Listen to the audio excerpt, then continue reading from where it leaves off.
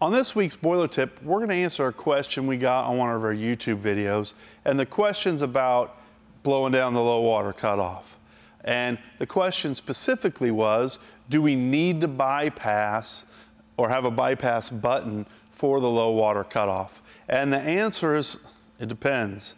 Um, if I've got a boiler house with multiple boilers and they're relatively small, not massive water tube boilers. Um, it's best practice to trip the boiler on the low water cutoff when we do the blowdown. And, and the reason is because we're verifying both the float operation and the electrical circuit operation. Because the float may fall and make an alarm, but unless we actually allow it to trip the boiler, we don't genuinely know that that aspect is going to function properly.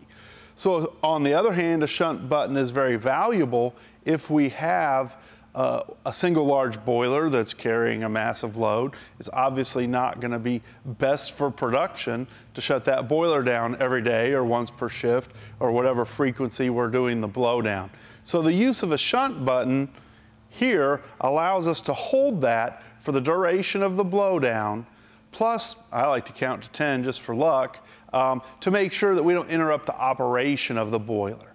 So that functionally clears the float chamber, which is one of our objectives, but it doesn't test necessarily the electrical circuitry. So in that respect, in those situations, on a boiler like that, if I'm gonna shut that boiler down for some reason, for a service interval on the weekend or something like that, I will not use the shunt button and actually allow it to trip. So there's your answer.